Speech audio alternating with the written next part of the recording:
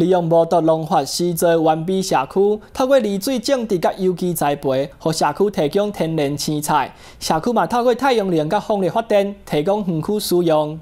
就是利用自然栽培，完备生态园区内底所有青菜，拢会当伫无毒栽种之下，提供社区乡亲甲关怀据点中者上天然的青菜。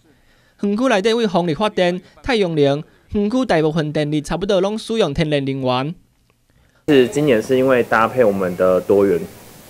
劳动部的多元专案，然后其实之前他们都有在地产业，只是说没有到行销那么多的推广的路线没有那么完整。那今年因为我们提的是新要整合计划，所以我们希望说把它结合比较完整新一点，所以我们也有配结合一些在地小农，然后一起推广小旅游的行程，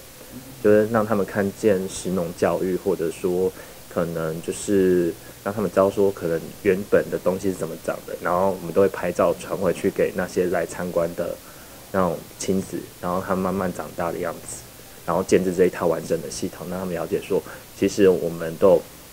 从小到大，然后可能之后他们第二次再回流的时候，我们跟你的蔬菜长大，其实你可以采回家试看看它的最你们从小开始种到大的样子。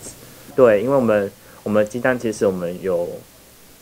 圈养跟放养两种，那其实我们从小的话就是让他们用放养的方式，那之后才会用圈养的方式。那因为放养其实虽然圈养，可是我们有一个时间，我希望会让它放养。那我们吃的东西也不一样，因为我们吃的东西其实就是粮食，而不是饲料。那饲料部分当然也一定会有饲料，可是问题它的饲料是。呃，就是甲壳素跟那个胡萝卜素，那是一般房间大家都比较常用到的。可是你像一些化化学肥料，我们都没有用。对，那我因为我们大部分都用是米，就是有比较像那个米，就是米饭。我们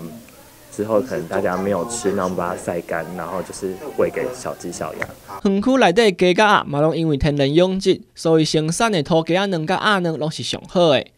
园区嘛，利用遮能做精美的鸡蛋卷礼盒，受到足侪乡亲喜爱。所以园区生态产品所得，嘛拢作为社区关怀局点关怀中者使用。新中华新闻将带进何必采访报道。